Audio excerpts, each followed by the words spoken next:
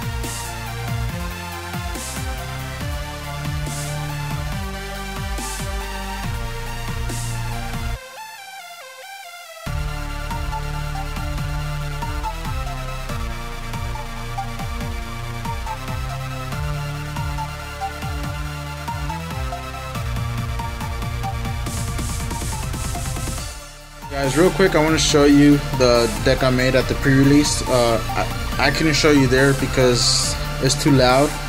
Um, in the three games, uh, the first two games I lost. Uh, the third game I won with uh, Persian. But uh, just the cards that I used, I used two Sable, Sableyes, uh, two Inkays, and two Malamars. This is a dark type deck, by the way, kind of and then I threw in this Meowth in Persian. I threw a Meowth because I do 20 more damage if it has a dark energy attached to it, and Persian just because it evolves uh, from Meowth. Then I threw in this Porygon, Porygon 2, Porygon Z, because I had the evolution, the complete evolution chain, and it was a normal type, so I could use the dark type energy with these Pokemon. And then I threw in this Eevee and Flareon just because uh, it seemed like there was gonna be a lot of grass decks out there because uh, there's some supporters that are trainer cards that help out the grass type Pokemon, and there were a couple of grass types cards decks out there. So I used this one just to do be able to do double double damage if I had to get down to that. Uh, the trainers I used we're three Level Balls to help me get the Pokemon that I needed out because all of them are 90. The Malamar and Persian level 90. Uh, Porygon Z was 130, but I never got to use them. Uh, I used three Level Balls, two Lysandres, uh, and I used this stadium card Faded Town, uh, which lets me put two damage counters uh, on each Mega Evolution Pokemon between turns. At any time between two, at any time between turns. And I really put this card just to be able to use this trainer card, which is a paint roller. Discard any stadium card in play, then draw a card. Uh, simply just to draw a card, have an extra pull uh, from the deck. And I use my Joker sleeves, really awesome neat sleeves. So yes, guys, that's uh, that's what I used. Oh, and I used six fire energy, and the rest were dark energy, which were 20 energies in total, and all this is 20 cards. Uh, so yes, let's get back to the pre-release so you can see the rest of the other stuff I'm gonna show you. Bloop. What's up guys, so I just finished the three rounds. Uh, I lost the first two, but I won the last one uh, by knocking out the two Pokemon. And now I got my two Ancient Origins back, so let's see what else we get.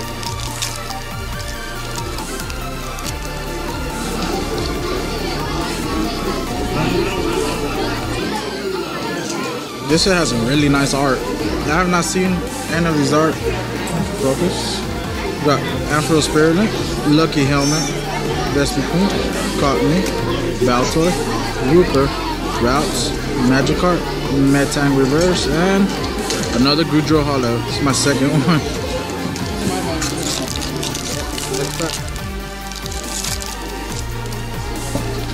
I don't know what's up with this cold card reverse. That's Sableye, Tyranitar Spirally, Ampharos, Porygon, Persian, Eevee, Unown, Inkay, Lucky Helmet Reverse, and a Claydol Rare. So, thank you guys for watching. Uh, see what I, I do the draft. But that's it. See you guys in the next one. Have a good one.